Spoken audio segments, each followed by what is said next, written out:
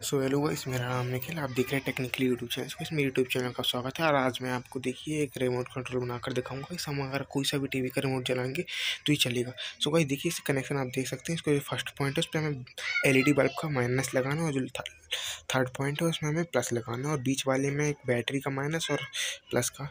So guys, देखिए हम ये वाला बल्ब जला रहे हैं तो क्या अच्छा ग्लो हो रहा है। सो गाइस, हम दूसरे टीवी के रिमोट भी जलाएँगे। यहाँ पर ये एयरटेल का रिमोट है। सो बस आप सही देख सकते हैं मैं कैमरे में ब्लिंक नहीं हो रहा अच्छे से लेकिन चल रहा है।